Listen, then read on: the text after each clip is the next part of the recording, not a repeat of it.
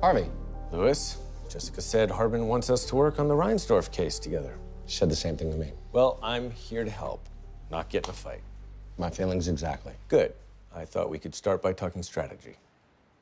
I'm sorry, but are you first chair? No, you are, but I just thought that... Doesn't matter what you thought, because our strategy is to go after their general counsel. And when would you like to depose this guy? Never, because I'm going to put that asshole on the stand and I'm going to crack him like a piece of matzah on Passover. Louis, you put him on the stand without deposing him, you'll be asking questions you don't know the answers to. So what? So that's the number one rule of lawyering. Well, thank you, F. Lee Bailey. And here I thought the number one rule was to know your goddamn place. And I don't need to take advice from a sixth year associate. And I don't need to take a loss on my record because you're too insecure to listen to reason. You know what, Harvey? You don't need to take anything because you're not in charge. So it's up to you. You're gonna get on board or you're gonna go crying to mama. You're right, Louis. You're the partner. I'm just here to back you up. Donna, I want you to pull whatever strings you have to to get the Reinsdorf trial moved up to tomorrow. I'll get right on it. And one more thing. Don't tell Louis. What? Harvey, Jessica said to bury the hatchet, not stick it in Louis's back. Donna, I went into his office in good faith, and it took him less than 30 seconds to wave his title in my face. What does that have to do with putting the firm's interests above your ego? Because when I brought up a legitimate issue with his strategy, he shot me down with no other reason than it came out of my mouth. I'm telling you, we don't do this, we're gonna lose. Look at me. Are you sure this is the right call? Listen to me. Jessica wants me to play the long game, and that's what I'm doing. I sat in there, ate shit, and he bought it. So now tomorrow, I'm gonna win this thing, and Jessica's gonna know she can count on me. All right. I'll move the court date. And I'll make sure Louis doesn't find out.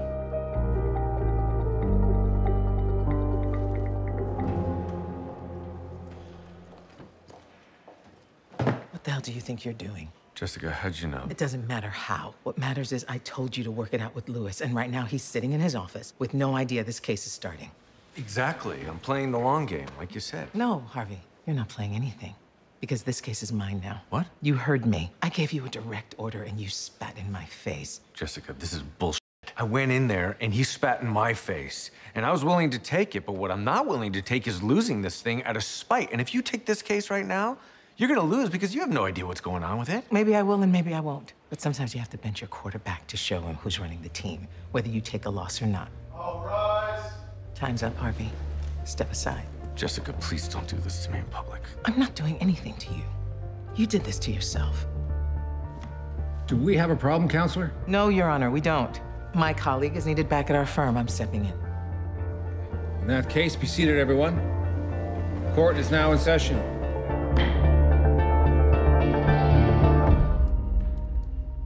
Jessica, hey, how are you? Louis, remember we talked about not abusing your power with Harvey? Absolutely, and that's why I treated him with the utmost respect. Well, if that's the case, then exactly why did he litigate Reinsdorf behind your back? God damn it, what the hell did he do? I'm not concerned with what he did. I'm concerned with what you did. Jessica, I swear I was the perfect gentleman, but then Harvey questioned my leadership. In other words, he had a better idea than you. Well, whether it was or it wasn't, he didn't respect the office of junior partner. Because there is no office of junior partner, Louis. And the real problem here isn't Harvey, it's that chip on your shoulder. What chip? Louis, I need you to be at this address tomorrow morning at 9 a.m. Why? Because I believe you will benefit from therapy. And this man is the best in the business. Whoa, whoa, whoa, whoa. Back the truck up. Jessica, therapy. I'm the most stable, secure man you've ever met. And you fight me on this, you'll be the most unemployed man I've ever met. Do we understand each other? Yeah, 9 a.m. it is. And Louis, when you walk through that door, you're gonna be tempted to turn right the hell around. And I'm telling you, if you want a future here, you won't.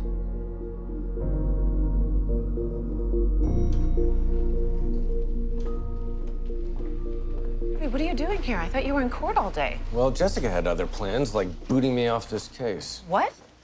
She walked in there and threw me out with my tail between my legs like I was a piece of shit first year associate. Listen to me. You need to calm down so we can figure out what we're going to do. I am calm, and I already took care of what we're gonna do. What are you talking about? I got us an offer at Bratton Gould.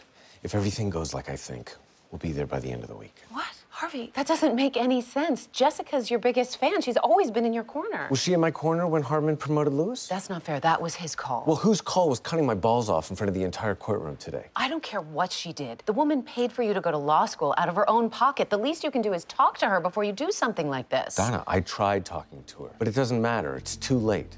I gave Alex my word. It's a done deal. Well, it may be a done deal for you, but it isn't a done deal for me. Donna, I like it here, Harvey.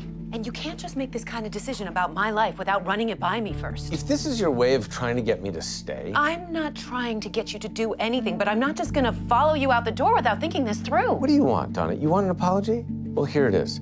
I'm sorry I didn't consult with you. I don't want an apology, Harvey.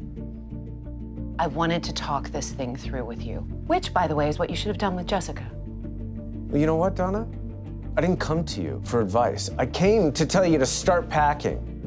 But if you don't want to come with me, then don't come with me.